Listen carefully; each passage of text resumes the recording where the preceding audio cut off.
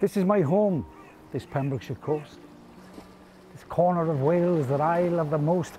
Its soft sandy beaches, its castles, its history. To not want to come would be, frankly, a mystery. But as the world opens and things start anew, there are a few favours we're asking of you. A respect for our towns, our people, each other.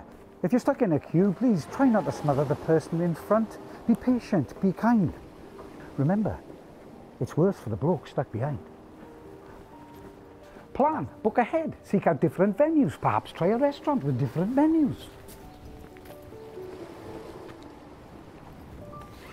If you go for a beer, skies hopefully unclouded, try finding a beer garden slightly less crowded.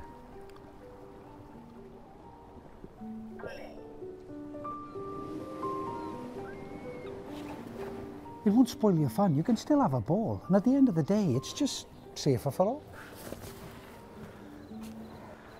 Please don't leave your rubbish in woodlands, on beaches. If it does nothing else, it'll stop all my speeches. I know I go on.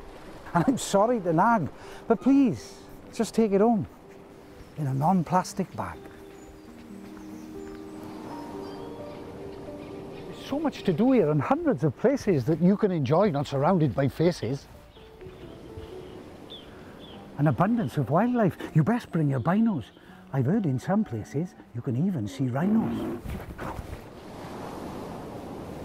We want you to come to see and to roam through the beautiful places that we call our home. But we need you to care. So we ask you, politely, whatever you do, please remember, tread lightly.